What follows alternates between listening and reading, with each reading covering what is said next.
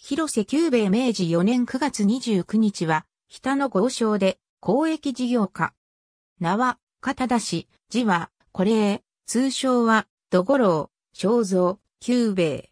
号は、南角、配合は、松木。兄に、広瀬丹宗を持つ。子孫に、日田市長、衆議院議員型、広瀬正夫、五代目の子孫の広瀬勝貞は、現大分県知事。文後国日田郡豆田町を町の博多や、三郎右衛門の三男として生まれる。兄丹宗に代わって21歳で火星を任され、西国軍団や諸藩の用田氏を務める。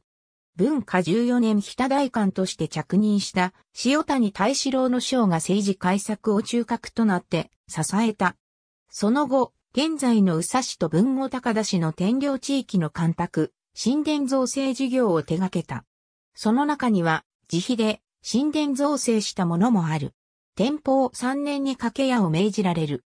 人物、手腕、財力、地位、業績が九州内に知れ渡り、天保6年塩谷大四郎が江戸に召喚された後は、各藩が彼を迎え入れようとした。天保13年より、府内藩の財政改革に取り組み尽力した。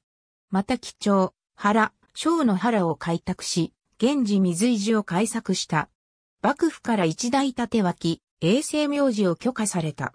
大正4年、十五位を追贈された。田尻左辺、増位所見伝蔵保番上特使増位年表 P37。